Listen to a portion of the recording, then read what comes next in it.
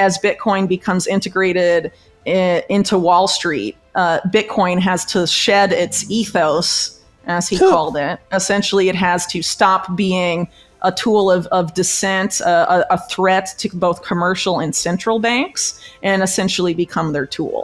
Basically, if Bitcoin is kept in that box that people like Larry Fink and Jeffrey Epstein and people like them, Larry Summers, presumably, who was on the Xapo advisory board, um, you know, these guys want Bitcoin to be a specific thing because they can use it. And there's people in the space, like this RSK guy, saying Bitcoin needs to lose its revolutionary ethos. It's got to drop that and become a tool for Wall Street. I think it's pretty obvious what needs to be done to scuttle those plans, which would be uh, ensure the opposite. While many experts have been completely bullish as they anticipate the rewards for crypto summer, investigative journalist and researcher Whitney Webb focuses on a different and much darker perspective. In her latest interview, Whitney reveals her recent observations and findings on intentions towards Bitcoin by certain people in power. She highlights the desires of individuals like Larry Fink and Jeffrey Epstein, and figures like Summers, who seek to mold Bitcoin into a specific utility that aligns with their objectives. She contends that the emphasis placed on Bitcoin as a store of value, particularly by figures like Michael Saylor, and the prevailing belief in Bitcoin's perpetual rise, is masking its genuine worth. Bitcoin's essence lies in its permissionless interaction between two entities. Whitney cautions against allowing banks and Wall Street to exclusively label Bitcoin as a store of value, as this aligns with their agenda and perpetuates a narrative that serves their interests. Let us now view clips of Whitney Webb as she elaborates on this eye opening information. As we show you these clips, we encourage you to show your support by giving us a like, subscribing to the channel, and turning on post notifications to stay updated with similar content. Make sure to stay until the end of the video, where Whitney Webb exposes the dark realities behind the current state of Bitcoin. Thanks and enjoy. So one of these figures that you know that comes up a lot in the piece, this uh, Diego Gu- uh, Gutierrez, uh, he's one of the co-founders of RSK of Rootstock. Um, he gave this very revealing interview about a year ago, and he was talking about several things that I think are important to bring up in the context of this interview. One of them is that as Bitcoin becomes integrated i- into Wall Street, uh, Bitcoin has to shed its ethos, as he called it. Essentially, it has to stop being a tool of, of dissent, uh, a, a threat to both commercial and central banks, and essentially become their tool. That's what he says. Um, so for Bitcoin to succeed, in his eyes, that has to happen. So that's very uh, telling. And then he also says that there's going to be a concerted push uh, to move away from money printed by the state, meaning central banks, uh, and instead move to commodity backed stable coins where the people that own the commodities will have all the power. We're likely going to get set up for something like that where they're going to try and make like existing money worthless. And if you want your money to be worth anything and maintain any sort of semblance of purchasing power, you have to use uh, financial products X, Y, and Z and they're all Yeah. going to be programmable and surveillable if not by the private sector by the public sector and they're going all going to be interoperable they're going to be all these um, all these different wallets and digital id systems that look like they're different companies but they're all the same uh, essentially in terms that they can export all their data to the same central global database. And you know that's essentially the goal here. So how do we fight against that? Don't use the database. Don't use the digital wallet. Don't use the digital id don't interact with the system and i think also you know i think bitcoin is is obviously very key to their plans but they need bitcoin to stay as larry fink said a technology for asset storage they refuse to have it be a currency and actually jeffrey epstein gave an interview about bitcoin that i didn't know about until oh, maybe like a couple months ago when we started researching this Yep. oh yes No and idea. he says the exact Part same two. thing Larry Part Fink says. gonna be fun. It's yeah, it's not a currency. It's you know a technology for asset store. Basically, if Bitcoin is kept in that box that people like Larry Fink and Jeffrey Epstein and people like them, Larry Summers, presumably, who was on the Xapo advisory board, um, you know, these guys want Bitcoin to be a specific thing because they can use it. And there's people in the space, like this RSK guy, saying Bitcoin needs to lose its revolutionary ethos. It's got to drop that and become a tool for Wall Street. I think it's pretty obvious what needs to be done to scuttle those plans, which would be uh, ensure the opposite. So people need to be putting resources into making that happen. Basically, to, to recap on that, if they need the Bitcoin blockchain for asset storage, and presumably, if we're right about what's going on in this article, which we seem to be, carbon markets, they need that blockchain. How do we make invert their plans and use the Bitcoin blockchain so that it's a the tool of financial freedom it was heralded to be because they can't get rid of it without scuttling their own plans. Now, just a quick news intermission before we proceed with more of Whitney Webb's eye opening insights. A recent report by Ecoinometrics observes the impact that the spot Bitcoin ETFs have had in driving Bitcoin's growth. These ETFs accumulated 200,000 BTC from January to mid March, coinciding with Bitcoin's surge from $40,000 to $75,000. Recently, the inflow into the ETFs has slowed down, and a stagnation in Bitcoin's price movement followed. Ecoinometrics suggests that without ETF demand, Bitcoin's price appreciation cannot grow further. Despite that opinion, the report acknowledges Bitcoin's role as a hedge against currency debasement. Comparing Bitcoin, gold, and the Nasdaq over the past decade, Bitcoin has outperformed significantly, showing a 44 fold increase in value.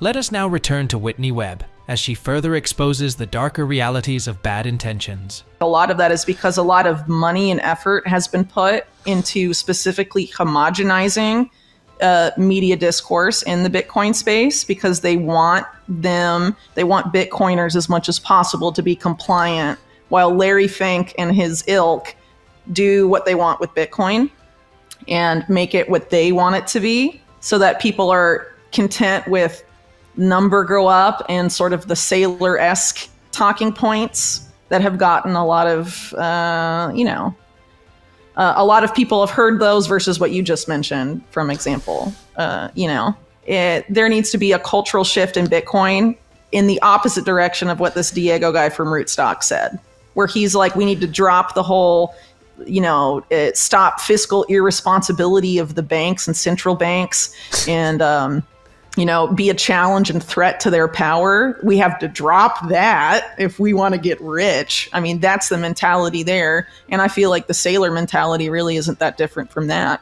We have to push people in the other direction because if we go in the direction they're pushing those, you know, people to go in, you know, people that want to drop the ethos or whatever and make Bitcoin just a tool for Wall Street. Um, I mean, no.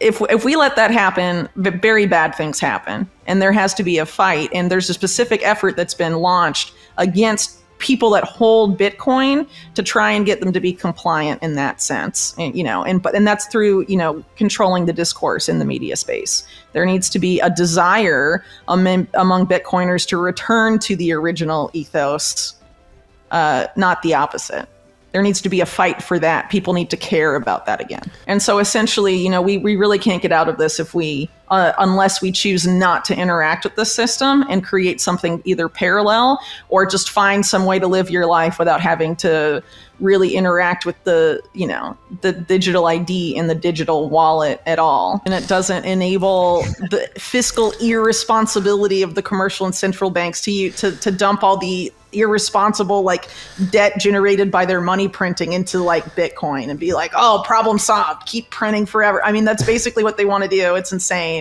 It is. And there's people that are like, that's fine because now I have money. And it's like, yeah.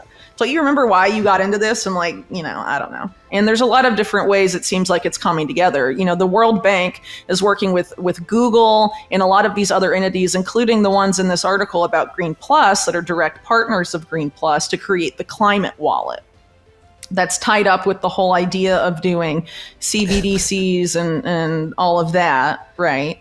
Uh, and things related wallet. to that. The private sector equivalent. They call it the climate wallet. Yeah, because it's all tied up with carbon emissions, and there's this, you know, the carbon taxes and all of that. And this is why, you know, I, I would like to point out. We mentioned it a little bit earlier, but bring it up again. The whole idea of SpaceX being involved in launching these Green Plus satellites. Um, Elon Musk is a big proponent of carbon taxes and has been for a very long time. So there's this whole thing going on in carbon markets right now because everyone involved has been outed for being, you know, well, not everyone involved, but basically the whole market up until now has basically been outed as being very like grift prone, you know, lots of fraud, lots of negligence, et cetera, et cetera. And so generally what happens is, is that when the private sector wants something or they want they've created a big market for something they've invested lots of money in creating something like the carbon market and no one's using the carbon market they are going to then use the public sector to force people to use the carbon market. And so they're trying to do that through the un, through the guise of climate emergency. So part of what we're talking about here, part of the way to like defeat this apparatus that Mark, as Mark referred to it, um, so much of what they do, including like their uh, media ops uh, in, in, efforts to control discourse, but also just like getting people to onboard to stuff when they otherwise wouldn't. It all runs on fear, right? And like all the stuff that happened during COVID, people fell in line because of fear. It's all fear based, pretty much everything they do. A great way to not fall into that is not be afraid of these people no matter what psyop they throw at you. And I think this year, election year, not just in the US, but in much of the world, uh, yeah, unprecedented fear based psyops are going to be coming one after the other until they get enough people to comply and acquiesce. And the way to, uh, you know, get around that is to not fall into it. You know, it's the trap, and a lot of it is the media discourse. And I think, you know, the more controlled online discourse becomes, the greater the effort will be to use it to get people to be very afraid of what's happening. And if you unplug a little bit and spend more time in like the actual world, you are much less likely to feel that way. And I think that's why during COVID, they wanted so much of our discourse to be online. And then they took even greater control of the online discourse. And we know now, uh, under the guise of election censorship, they're going to clamp down even more on online discourse and lead it in very particular directions. They want Americans in particular to be at each other's throats. You know, textbook divide and conquer, among other things, though. I mean, they have this whole war on domestic terror apparatus, all this stuff about civil war, and we need this and that regular Americans are generally on the same side. And they want to divide everyone, and it's all through fear. And they've been doing this psyop after psyop after psyop, whether it's 9 11, COVID, you name it. I mean, it's all fear based and wants to alienate, alienate you from your local community. Like, again, it's about self reliance at the local level. Uh, you know, that's a big part of the response, but it's also, you know, getting people, not just you yourself, though obviously that's where you start, but making sure that the fear doesn't uh, anchor in to, you know, where you are based. I think that's a big part of it. Don't let them. I don't. I don't know. I mean, there's so much stuff to say. I feel like I've already said it. Just I guess repeating. Uh, don't fall into the fear-based psyops. It's just maybe we should get offline a little bit more, everybody. And also, um, please do not let Bitcoin become Larry Fink's little bitch. I mean, that's just embarrassing. What are your thoughts on Whitney Webb's revelations regarding the intentions of certain individuals towards Bitcoin? And do you think there are other hidden agendas or intentions at play within the crypto space that we should be aware of? Share your thoughts in the comment section below. If you found some value in today's video, we would appreciate it if you hit that like and subscribe button. Lastly, if you would like to be updated with all of our future updates, please tick that notification bell. Your support encourages us to create more content on the latest relevant news in crypto. Thank you for watching. We hope to see you in our next video.